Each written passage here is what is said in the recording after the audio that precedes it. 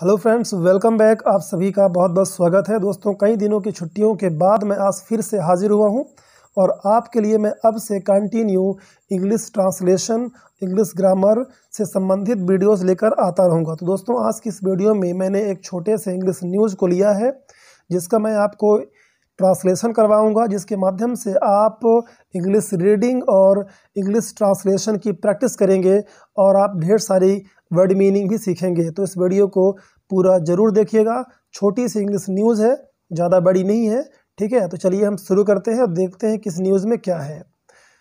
थोड़ा interesting news है, पूरा देखेंगे तो मज़ा आएगा, ओके? जैसा कि आप देख रहे हैं, ऊपर इसका टाइटल है, अवनीश शरण एन आई एस ऑफिसर तो अवनीश शरण एक आई ऑफिसर हैं, ठीक है? आइए देखते हैं उन्हें किस तरह का मैसेज प्राप्त हुआ है। एक पेरेंट्स ने उन्हें मैसेज किया था और वो किस तरह का मैसेज है उसका हम ट्रांसलेशन देखते हैं, ठीक है? What should reply to this message तो अवनीश जी कहते हैं कि जो ये मैसेज मुझे, जो संदेश मुझे प्राप्त हुआ है, इसका रिप्लाई मुझे क्या देना चाहिए? वॉट शुड रिप्लाई रिप्लाई मतलब होता है जवाब देना, ठीक है? शुड यानी चाहिए। तो इस मैसेज का, इस संदेश का हमें क्या जवाब देना चाहिए, क्या रिप्लाई देना चाहिए? तो आइए देखते हैं कि एक्चुअली में मैसेज क्या था, संदेश उन्हें क्या प्राप्त हुआ था। बड़ा ही इंटरेस्टिंग है, ठीक है? ध्यान से सुनिएगा, उन्हें मैसेज प्राप्त हुआ जिसमें लिखा था good evening sir good evening sir मतलब कि शाम का नमस्कार, ठीक है?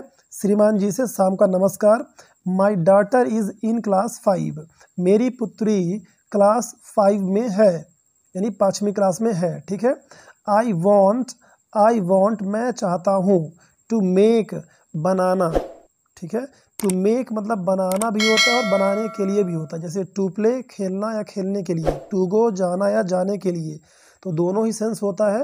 आप दोनों ही अर्थ सेंटेंस के अकॉर्डिंग निकाल सकते हैं, ठीक है? आई वॉन्ट टू मेक मैं बनाना चाहता हूँ हर कैरियर उसका भविष्य हर हर यानी उसका किसी फीमेल के लिए। एज के रूप में एन आई एस ऑफिसर। एक आई एस ऑफिसर के रूप में मैं उसका कैरियर, उसका भविष्य बनाना चाहता हूँ। Kindly guide me. कृपया करके मेरा मार्गदर्शन करें। गाइड यानी मार्गदर्शन करना, किसी को रास्ता दिखाना, ठीक है?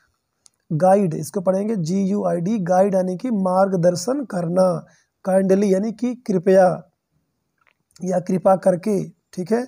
मी यानी मुझे ऑन यानी पर ऑन यानी पर तो मुझे मार्गदर्शन दें, किस पर? How I can make an environment for her to study तो वो जानना चाहते हैं हाउ यानी कैसे, मैं कैसे ठीक है? आई कैन मेक मैं बना सकता हूँ। कैन यानी सकता है, सकती है। तो मैं कैसे बना सकता हूँ? एन एनवायरनमेंट एक परिवेश, एक वातावरण फॉर यानी के लिए, हर हर यानी उसके। तो उसके लिए टू स्टडी पढ़ने के लिए, ठीक है? स्टडी करने के लिए, अध्ययन करने के लिए, मैं उसके लिए एक इन्वायरमेंट एक परिवेश, एक वातावरण कैसे बना सकता हूँ? Right? She is fond of book reading तो वो बताते हैं उसके पेरेंट्स सी यानी जो उनकी बेटी है डॉटर है, ठीक है? सी इज़ फॉन्ड ऑफ़ वह शौकीन है ओके इज़ यानी है फॉन्ड ऑफ़ यानी होता है किसी का शौकीन होना किसी भी चीज़ का, ठीक है? बुक रीडिंग तो बुक रीडिंग की वो शौकीन है, ठीक है? Kindly guide some books kindly जैसे मैंने अभी बताया कि काइंडली यानी कृपया करके गाइड यानी मार्गदर्शन दें, मार्गदर्शन करें सम बुक्स कुछ पुस्तकें सो दैट ताकि she can enhance she can enhance ताकि वह इन्हेंस कर सकती है मतलब कि बढ़ा सकती है। इन्हेंस मतलब होता है इनक्रीज करना या बढ़ाना, ठीक है? नॉलेज बढ़ाना, ज्ञान बढ़ाना तो हर नॉलेज तो वह अपना नॉलेज अपना ज्ञान इन्हेंस कर सक कर सकती है बढ़ा सकती है ठीक है? इन्हेंस मतलब बढ़ाना। तो वो उनसे क्या पूछते हैं? बुक्स को आ, सलाह चाहते हैं कि कोई उन्हें अच्छी सी बुक बता दें। अब देखिए बच्चे भी पाँच साल की है और उनको अभी से फ़िक्र है उसको आई बनाने की है ना? लेकिन ये बहुत छोटी सी उम्र है जिस उम्र में बच्चों को खेलना पढ़ना फ्री होकर उन्हें जीना चाहिए, ताकि उनका मानसिक और शारीरिक विकास अच्छी तरह से हो सके। तो उस उम्र में पेरेंट्स को चिंता होती है कि वो उनके कैरियर को लेकर बहुत गंभीर हो जाते हैं। इतना गंभीर आई थिंक नहीं होना चाहिए, ठीक है? आपको क्या लगता है? आप कमेंट करके मुझे बता सकते हैं। क्लियर है? चलिए, थोड़ी सी न्यूज़ है, आगे बढ़ते हैं। Seeking your kind guidance seeking मतलब होता है खोजना सीख करना, खोजना, तलाश करना। योर काइंड गाइडेंस आपका विनम्र जो मार्गदर्शन है काइंड मतलब दयालु भी होता है, विनम्र भी होता है, ठीक है? तो आपका जो एक अच्छा अच्छा भी होता है तो आपका जो अच्छा गाइडेंस है, विनम्र जो आपका मार्गदर्शन, हम खोज रहे हैं, ठीक है? ऐसा पेरेंट्स लिखते हैं। अब आइए देखते हैं, ये तो उनका मैसेज था, जो उन्होंने लिखा था आईएएस ऑफिसर को। अब आइए देखते हैं उनका रिएक्शन क्या हुआ। पेरेंट आस्क पेरेंट पूछते हैं आस्क यानी पूछना। पेरेंट यानी माता पिता पूछते हैं आईएएस ऑफिसर से हाउ टू प्रिपेयर कैसे तैयारी करें। प्रिपेयर मतलब तैयारी करना। हाउ टू प्रिपेयर कैसे तैयारी करें। क्लास फाइव या कैसे तैयार करें।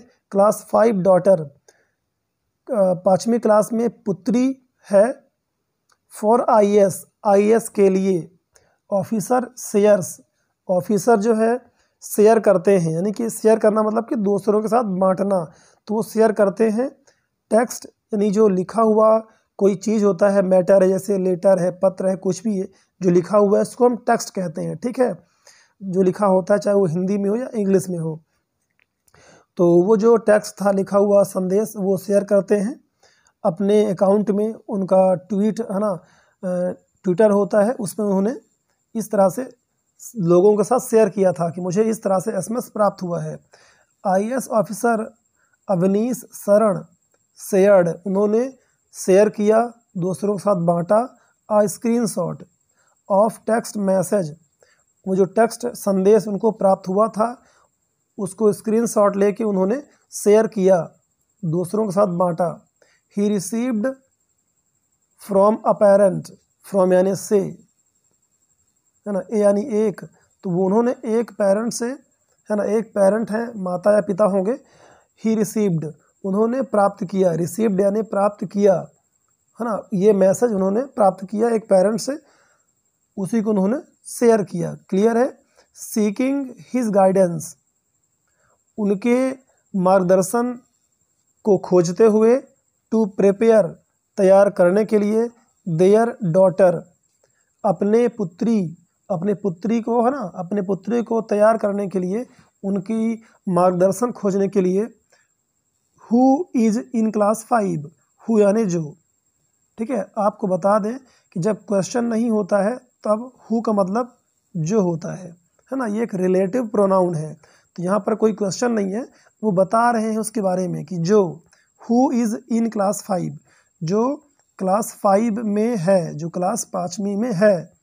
To become an I S officer an मतलब एक, जैसा कि मैंने बताया अभी आपको टू बिकम मतलब होता है होने या बनना, है ना? बनने के to become an I S officer तो एक आई एस ऑफिसर बनने के लिए, है ना, जो कि क्लास फाइव में डॉटर है, पुत्री है, वो उनका गाइडेंस चाहते हैं। क्लियर है? तो इस तरह से ये संदेश था। What should I reply to this message जैसा मैंने अभी आपको ऊपर बताया कि इसका मतलब होता है कि हमें इस एसएमएस को क्या रिप्लाई देना चाहिए, क्या जवाब देना चाहिए। What should I reply to this message Sharan road Sharan ने लिखा। रोट क्या है? राइट का सेकंड फॉर्म लिखा। क्या लिखा?